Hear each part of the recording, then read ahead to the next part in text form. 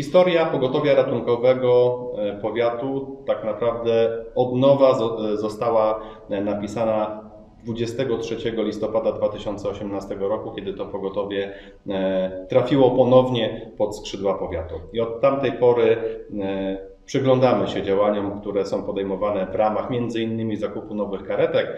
O czterech nowych karetkach wielokrotnie mówiliśmy, ale to nie wszystko, bo pojawią się dwie nowe. Jednym z głównych celów, e, jaki sobie postawiliśmy startując e, do wyborów i oczywiście przejmując władzę w powiecie, było uruchomienie na nowo pogotowia ratunkowego pod skrzydłami naszego szpitala. I to się udało, natomiast e, w najśmielszych snach e, nie wyobrażałem sobie, że w ciągu czterech lat e, będziemy mieli aż sześć nowych karetek. Cały tabor szpitala to jest siedem karetek, z czego cztery karetki jeżdżą w systemie ratunkowym, dwie stacjonują w Krośnie, dwie stacjonują w Gubinie, a trzy karetki to są karetki transportowe, na przykład przewóz do innego szpitala, przewóz na badania, współpraca z POZ-ami. Natomiast e, cztery nowe karetki zostały kupione przez ostatnie e, cztery lata.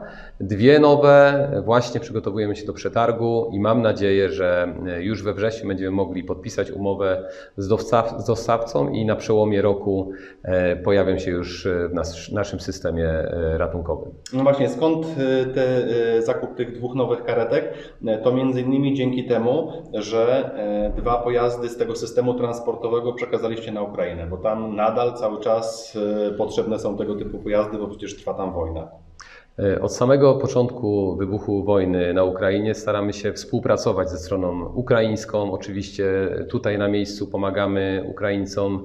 E, Rok temu, e, gdy rzeczywiście ten dramat wszyscy oglądaliśmy na ekranach telewizorów, staraliśmy się robić wszystko, żeby przede wszystkim pomóc tym uchodźcom wojennym, ale również w jakiś sposób pomóc im tutaj zamieszkać, znaleźć swoje miejsce na terenie całego powiatu.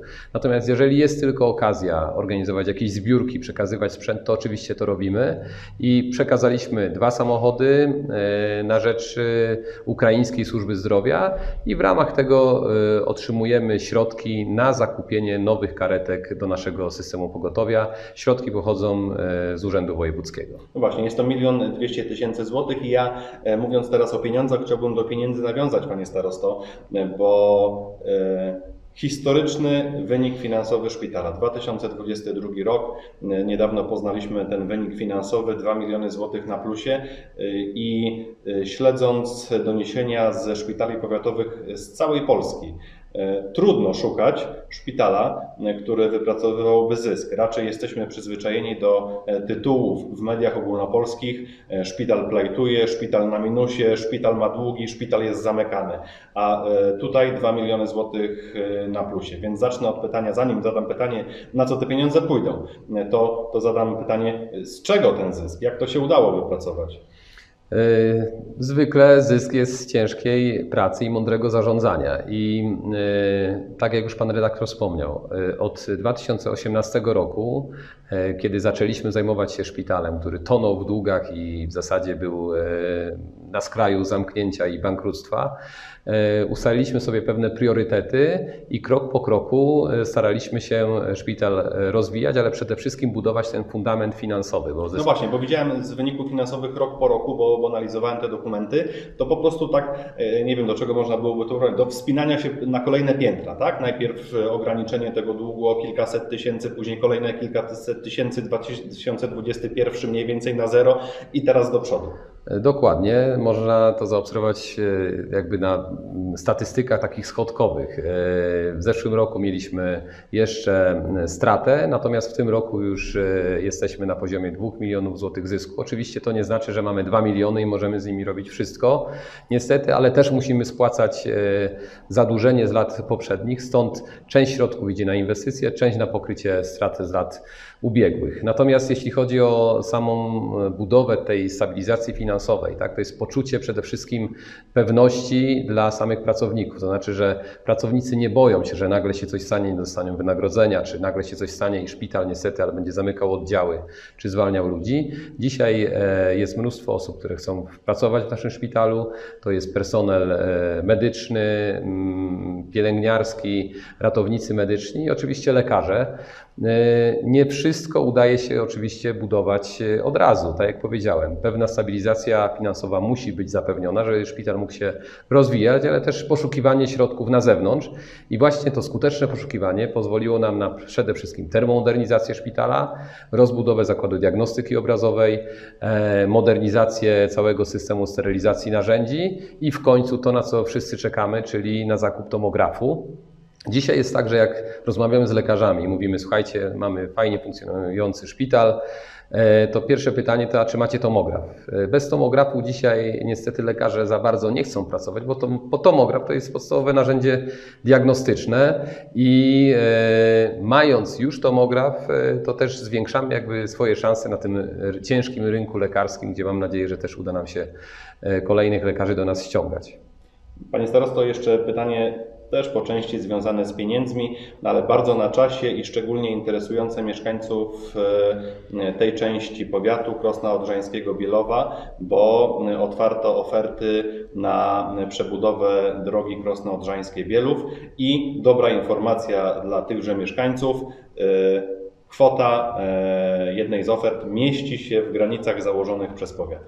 Cieszymy się, bo ta historia też jest dosyć długa, natomiast jest to marzenie mieszkańców Bielowa, Czetowic, Budachowa, Dobrosłowia, żeby mieć porządną drogę, którą mogą dojechać e, do domu. E, miejscowość Bielów, miejscowość Czetowice e, rozwijają się, tam się przeprowadzają mieszkańcy, często mieszkańcy z miasta kupują tam działki i chcą też mieć porządną drogę, żeby dojeżdżać do domu, ale też do szkoły, do sklepu, do miejsca pracy. I od lat planujemy w jaki sposób pozyskać środki, w jaki sposób tą drogę przebudować. Są tutaj członkowie zarządu i radni również z gminy Krosno-Odrzańskiej, którzy bardzo o tą drogę za, zabiegali, między innymi pan Tomasz Miechowicz, Anna Januszkiewicz i pan e, Paweł Szwed. I cieszę się, bo krok po kroku, e, najpierw e, przygotowanie programu funkcjonalno-użytkowego, później skuteczne zabieganie o środki w Funduszu Dróg Samorządowych i nareszcie mamy, można powiedzieć, już prawie rozstrzygnięty przetarg, bo wpłynęły dwie oferty, weryfikujemy je. Natomiast najprawdopodobniej zmieścimy się w budżecie. Ta oferta najtańsza pozwala nam na realizację inwestycji. Jest tu oczywiście wsparcie gminy Krosno Odrzańskie, ponad pół miliona złotych. Więc ta inwestycja która w pewien sposób łączy siatkę dróg powiatowych, ale też gminnych i mam nadzieję, że już w następnym roku wiosną będziemy mogli normalnie, normalną, niedziurawą drogą dojechać do wcześniej wspomnianych miejscowości. To jeszcze na koniec chciałem zapytać o ten wątek współpracy samorządów, bo e, on od 2018 roku jest bardzo istotny, jeżeli chodzi o inwestycje drogowe wykonywane przez powiat. Partycypacja połowy wkładu własnego przez samorząd, na terenie którego e, droga ma być remontowana. I tutaj ponownie z taką sytuacją mamy do czynienia. Mam hasło, które przyświeca mi w e, mojej pracy samorządowej, które brzmi e, nie zgoda rujnuje, a zgoda buduje. I przede wszystkim to jest fundament naszej współpracy na terenie powiatu krośnieńskiego. Współpracujemy ze wszystkimi wójtami, z burmistrzami. Burmistrzowie, wójtowie wspierają nasze inwestycje, bo bez tego wsparcia niestety, ale nie udałoby się aż tyle zrobić. I tutaj współpraca z gminą Krosno Odrzańskie jest naprawdę na wysokim poziomie. E, praktycznie przy zakupach związanych z, rozwojem szpitala czy poprawą infrastruktury drogowej jest ta e, pomoc, jest ta współpraca. E, nie musimy zbyt długo negocjować, usiądziemy, rzeczowo porozmawiamy i udaje się wspólnie znaleźć środki E, na różnego rodzaju działania, oczywiście w zasięgu obszaru działania powiatu. I tak też było w przypadku drogi do Bielowa. E, oczywiście, jeśli chodzi o drogę do Bielowa, e, tutaj to było jedno z głównych zadań, o których rozmawialiśmy 4 lata temu i teraz dzięki tej współpracy, między innymi wsparciu finansowemu, droga w końcu zostanie zrobiona i mam nadzieję, że wiosną już będziemy mogli ją szczęśliwie nową, wyremontowaną drogą przejechać. Dziękuję bardzo.